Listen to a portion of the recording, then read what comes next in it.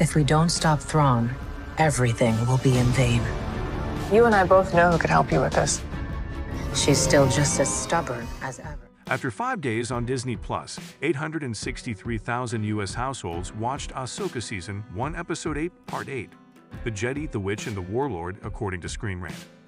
This puts the Ahsoka finale between the finals of The Mandalorian Season 3 and Andor Season 1, which were watched by 1.5 million and 591,000 U.S. households, respectively.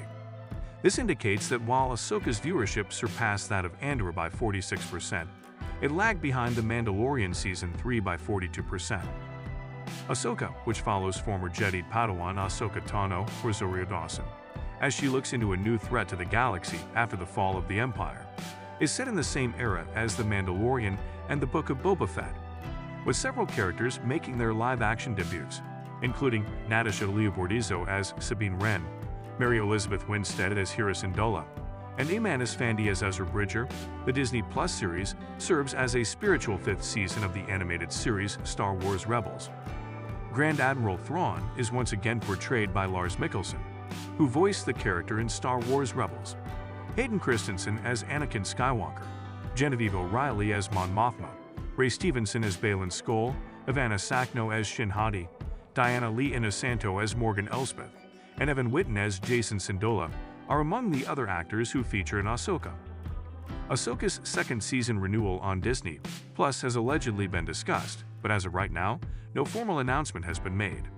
The Hollywood Reporter reported back in April 2023 that the success of the first season of Ahsoka will determine whether or not a second season would be produced.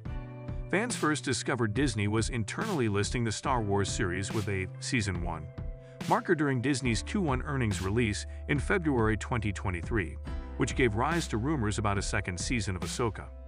Fans had thought Ahsoka would be a limited series, a la the Book of Boba Fett, up until that moment.